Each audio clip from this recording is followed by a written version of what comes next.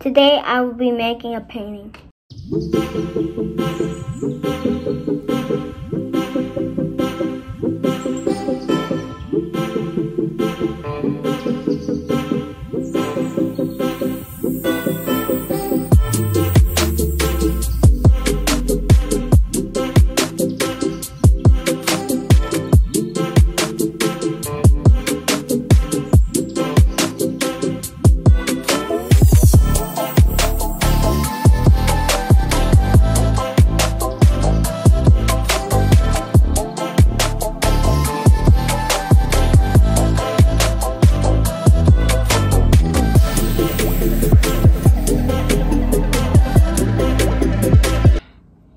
This is how it looks.